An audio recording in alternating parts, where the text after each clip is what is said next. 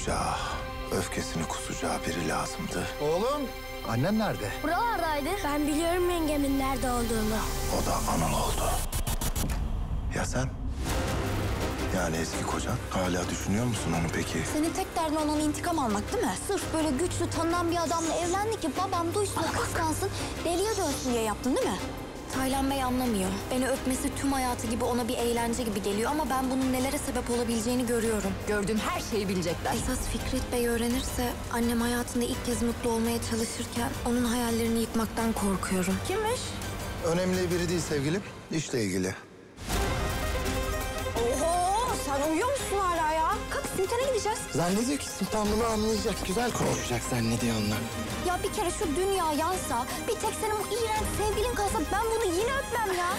Abart sen de abart istersen. Sizin odalarınız da yan yana. Kesin Anıl'ın da odasına gidiyordur bu. Sevgi Ersoy için çiçek vardı. Kimmiş?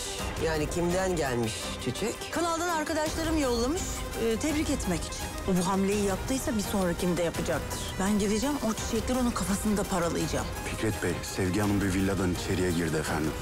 Sen babana annenin günahlarını hatırlatıyorsun. Eminim ben de anneme hatırlatıyorumdur.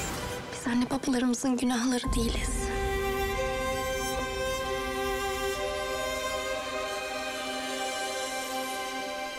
Yan Oda yeni bölümüyle Cumartesi Star'da.